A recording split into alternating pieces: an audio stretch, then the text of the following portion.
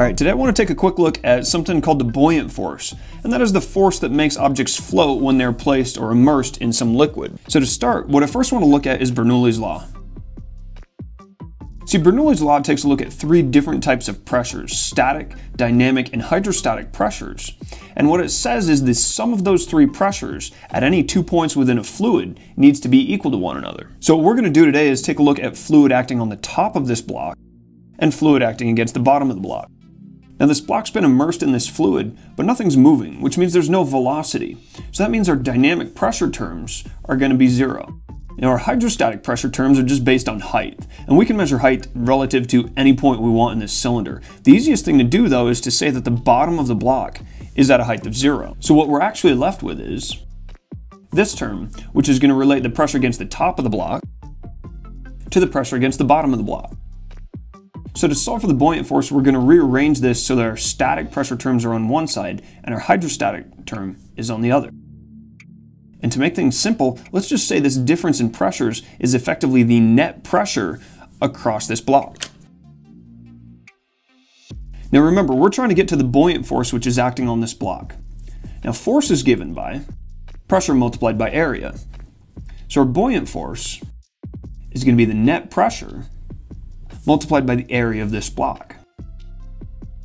Now it looks like we have our net pressure multiplied by area, but I want to look at this in a slightly different way. Take a look at what's going on right here. Height multiplied by area. The height of the block multiplied by the area of this block is in fact the volume of the block. And this is going to leave us with our final expression for the buoyant force. So the buoyant force is given by rho, the density of a fluid, multiplied by the acceleration due to gravity, multiplied by the volume of an object. Now this negative is significant because it means the buoyant force is in the opposite direction of the acceleration due to gravity. And this equation for the buoyant force is what we call Archimedes' principle. And effectively what Archimedes' principle says is the buoyant force is equal to the weight of fluid which is displaced by an object. Now if the buoyant force is greater than the force by gravity, we're going to find that an object has a net force upward and therefore it moves upward. If the buoyant force is less than the force by gravity, there's going to be a net force downward on this object and it will move down.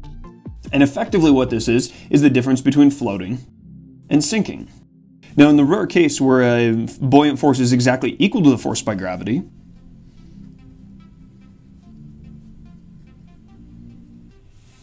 there's going to be no net force and we'll say that's neutrally buoyant. So what we've done is derived an expression for the buoyant force, or Archimedes' principle, from Bernoulli's law. And we can see whether or not an object is going to float or sink. And on that note, that's all for now.